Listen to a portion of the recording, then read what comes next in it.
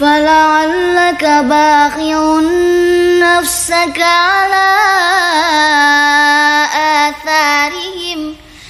على آثارهم إن لم يؤمنوا بهذا الحديث أسفا. إنا جعلنا ما على الأرض زينة لها لنبلوهم لنبلوهم أيهم أحسن عملا وإنا لجاعلون ما عليها صعيدا جرزا أم حسبت أن أصحاب الكهف والرقيم كانوا